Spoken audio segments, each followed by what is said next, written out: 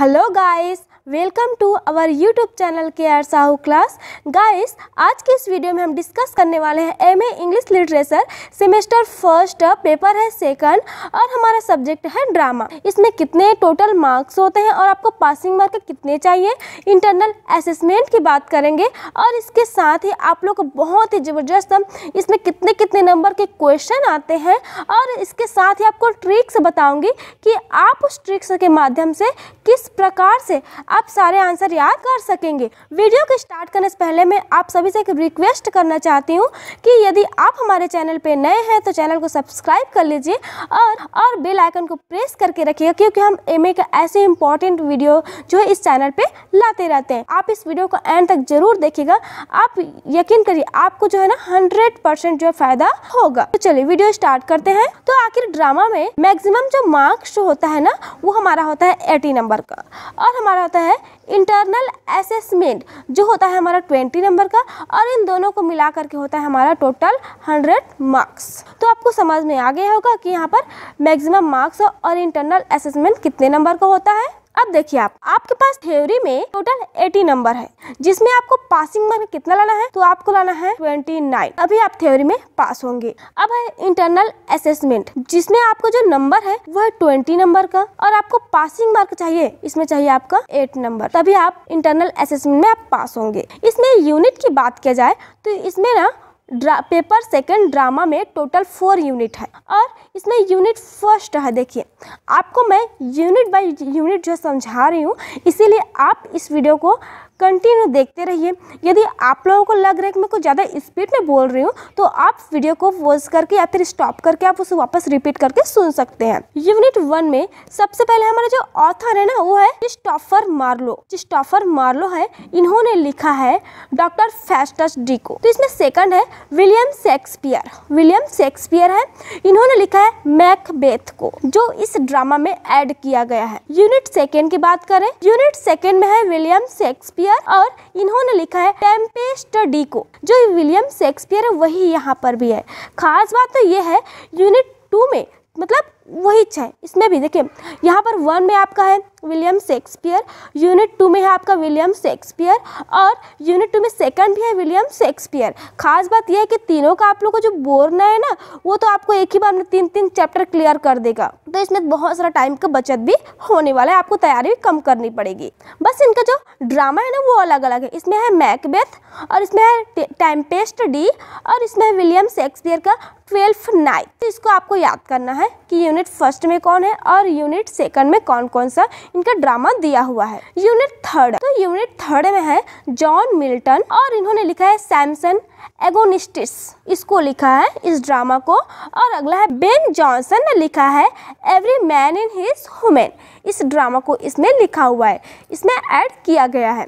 यह है unit three का। यूनिट फोर है जॉन वेबस्टर, इन्होंने लिखा है डचेस ऑफ़ माल्फी डी को और अगला है डब्ल्यू कॉनग्रेव इन्होंने लिखा है वे ऑफ़ द वर्ल्ड इसको लिखा है, इस ड्रामा को ऐड किया है। तो इस प्रकार से आपका टोटल फोर यूनिट है, जिसमें आपके टोटल हैं एट ऑथर हैं। मतलब कि आपके ड्रामिस्ट है जो लिखे हुए हैं। सबसे पहले हम देखते हैं कि इसमें ड्रामा में टोटल कितने कितने नंबर के क्वेश्चन आएँगे और इसका ट्रिक्स क्या है, जिससे कि ड्रामा पूरी तरह से कवर हो जाए एक ही वीडियो में। आप लोग को समझ में आ जाए कि आप लोगों को क्या क्या याद करना है और दूसरे टॉपिक पे आप अपना टाइम वेस्ट न करें। यदि आप मेरे इस वीडियो एंड तक देख रहे हैं तो आप यकीन कीजिए, आपको दूसरा वीडियो देखने की ज़रूरत तो पड़ेगी ही नहीं। बस आपके एक लाइक से ही क्या है, मुझे मोटिवेशन मिलती है और मैं ऐसे वीडियो बनाने में मोटिवेट होती हूँ। There will be objective question covering the entire unit content of the paper the number of question will be ten mark ये टेन मार्क तो इसके अंदर मतलब मतलब क्या है देखिए, सबसे पहले आपके, इसके अंदर में कहा जा रहा है कि ऑब्जेक्टिव क्वेश्चन आएँगे, ठीक है? अब ऑब्जेक्टिव क्वेश्चन कैसे आएँगे? कितने आएँगे? तो इसमें टोटल टेन आएँगे। ये कितने नंबर के होंगे? तो हर एक क्वेश्चन एक नंबर का होगा, ठीक है? दस क्वेश्चन आएँगे, हर एक क्वेश्चन आपका होगा एक एक नंबर का। तो इस प्रकार से आपका ये होगा टोटल टेन नंबर। अब आपको मैं एक और बात बता दूँ, जो बहुत ही मोस्ट इंपॉर्टेंट है। ऑब्जेक्टिव क्वेश्चन तो आएगा, ठीक है, लेकिन कभी कभी उसमें ऑप्शन नहीं होता है। जैसे ऑब्जेक्टिव क्वेश्चन बोल रहे उसमें चार ऑप्शन होना चाहिए, ठीक है? वन टू थ्री और फोर तो आपको जैसे आप तैयारी किए हैं तो कोई एक सही है तो उसको आप सही करेंगे। यहाँ तक तो ठीक है, लेकिन कभी कभी ऐसा नहीं पूछा जाता। आपको डायरेक्ट उस टॉपिक को लेकर के पूछा जाता है और आपको एक शब्द में उसको बताना होता है।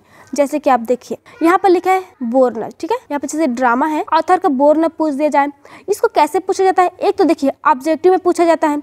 अब यहाँ पर ऑप्शन तो है नहीं। तो डायरेक्ट से डायरेक्ट आपसे पूछा जाएगा कि उस ऑथर का, जैसे विलियम शेक्सपियर का बोर्न कब हुआ? तो आपको तो बताना पड़ेगा, कब हुआ? तो ये आपको एक शब्द में मतलब देना होता है। अब आपको समझ में आ गया होगा कि एक नंबर के क्वेश्चन मतलब टू टाइप से पूछे जाते हैं। एक तो ऑब्जेक्टिव मतलब ऑप्शन के अनुसार और दूसरा जो है आपको एक शब्द में उसका आंसर देना होता है। देखिए, इसमें अधिकतर क्या क्या पूछा जाता है जो मोस्ट इंपॉर्टेंट होते हैं। सबसे पहले होता है यहाँ पर जो भी ऑथर है ना, उनका बोलना, उसे हमेशा याद करना चाहिए। बहुत ही मोस्ट इंपॉर्टेंट नहीं छोड़ना चाहिए।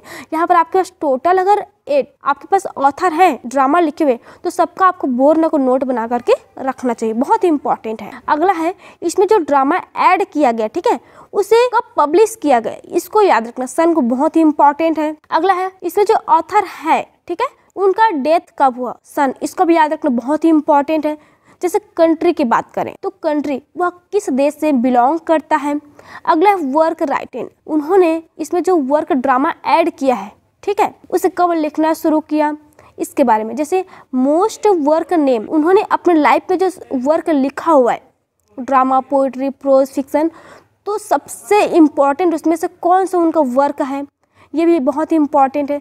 जैसे फैमिली और पेरेंट्स की बात करें तो उनके पेरेंट्स का नेम, ठीक है? माता पिता का नाम और उनकी वाइफ का नेम, ये सब इनके पेरेंट्स में आ जाएगा। उनकी एजुकेशन कहाँ से स्टार्ट हुई, ठीक है? इसके बारे में। तो ये सब आपके ऑब्जेक्टिव क्वेश्चन के अंदर में आते हैं। मतलब एक नंबर के प्रश्न में आपके जो है अक्सर आता है, इससे हटकर कुछ भी नहीं आता है। ठीक है? आपको समझ में आ गया होगा कि ऑब्जेक्टिव क्वेश्चन के लिए आपको क्या तैयारी करना है। और एक बात, आप घबराइए मत। अभी आप लोग को तो मैं ट्रिक से बताई ही नहीं हूँ, ठीक है? अभी तो ट्रिक से स्टार्ट ही नहीं हुआ है। अभी सिर्फ़ आप लोग को सैंपल बता रही हूँ कि क्या क्या पूछा जाता है। अंतिम में बताऊँगी ट्रिक्स को आप लोग को, ओके? चलिए, अगला देखिए। There will be five short answer type question each of two marks आप लोगों को समझ में आ गया होगा कि आपके पास, आपके क्वेश्चन पेपर में फाइव शॉर्ट क्वेश्चन आएँगे। जिसका आंसर आपको शॉर्ट में ही देना है, ना कि लॉन्ग में ओके? मतलब यहाँ पर आपके पास है फाइव क्वेश्चन आएँगे। और इसमें कोई ऑब्जेक्टिव रहेगा नहीं। ऑब्जेक्टिव मतलब कोई आपके पास ऑप्शन नहीं रहेगा कि इसमें कि एक छोड़ दिया, एक को बना दिया, ऐसा नहीं। और हर एक क्वेश्चन में दो नंबर रहेगा। मतलब टोटली आपके कितने हो गए? टेन नंबर का। अभी आपको जो शॉर्ट क्वेश्चन आंसर है ना, इसमें क्या क्या पूछे जाते हैं, इसको बता रही हूँ, ठीक है आपको? देखिए, सबसे पहले द ऑथर कैरेक्टर, यहाँ पर आप लिख लीजिए, ऑथर। इस ड्रामा में आपके पास कितने ऑथर है? एट, ठीक है? तो एट, आपके पास जो ऑथर है, उनके कैरेक्टर पूछ सकते हैं। इसमें कोई ऑप्शन नहीं होता। देखिए, आपके पास एट, आपके पास ऑथर है, लेकिन क्वेश्चन कितने आएँगे? क्वेश्चन आपके पास मात्र पाँच ही आएँगे, ना कि आप एट। ऐसा तैयारी नहीं करेंगे। ठीक है? तो आप लोग को इसमें जितने भी ऑथर हैं ना, उन सब के क्या करना है? कैरेक्टर को याद रखना है। कैरेक्टर मतलब उनके, इस ड्रामा के अंदर में जो भी उनकी शालीनता है, ठीक है? उनके स्वभाव, उनके बारे में जो दिखाया गया उसके बारे में। अगला है लाइफ स्टाइल उनके लाइफ स्टाइल के बारे में पूछा जाता है। अगला है स्टार्ट बाय राइटन उन्होंने लिखना कब शुरू किया? क्या उन्होंने पहले ड्रामा लिखा पोइट्री लिखा फ्रोज लिखा, या फिक्सन लिखा?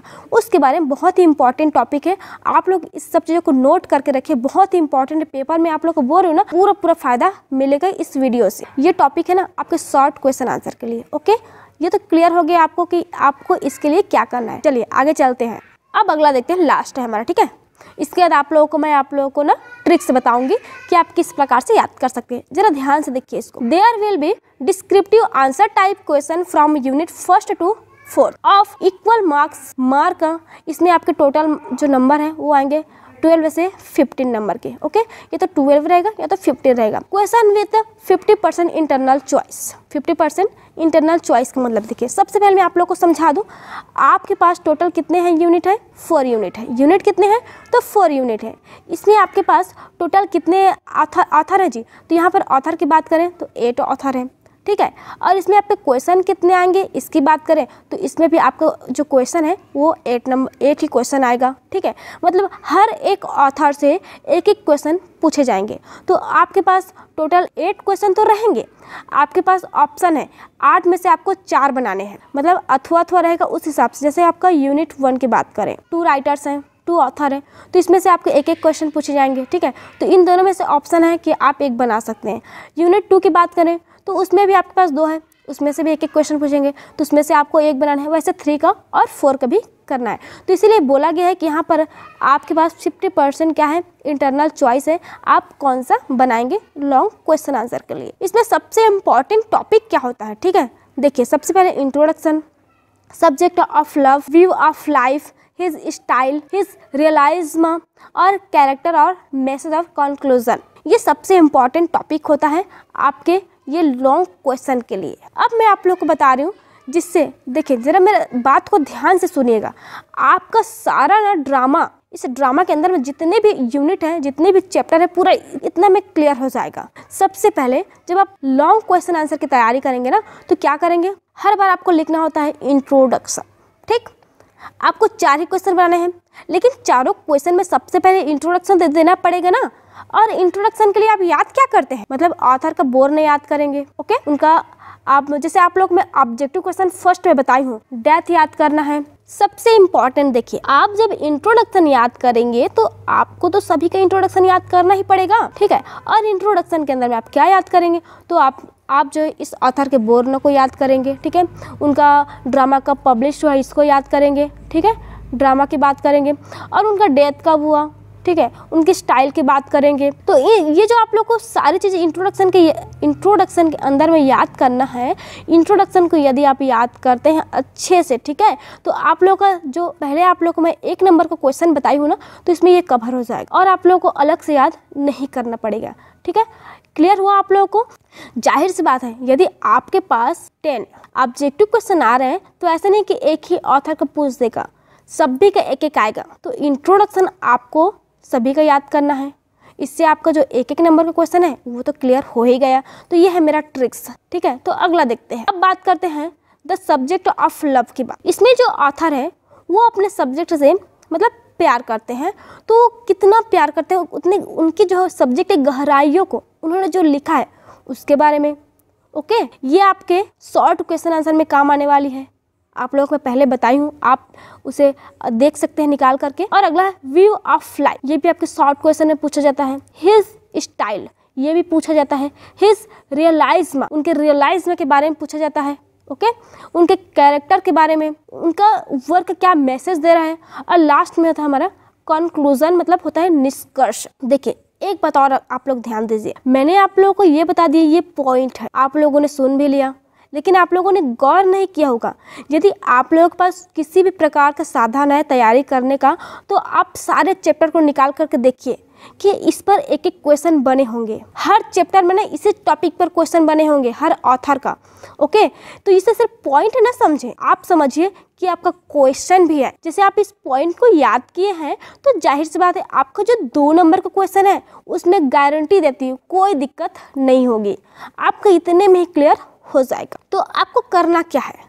आपको इन सारे पॉइंट्स को नोट बना करके रखना है और इनका तैयारी करना है और आपको इस वीडियो को, जैसे आप देखे हैं, आपको एक बार में समझ में नहीं आया तो आपको इस वीडियो को एक बार और देखना है, जिससे आपको पूरा पूरा क्लियर क्लियर हो जाएगा ड्रामा पर, ठीक है?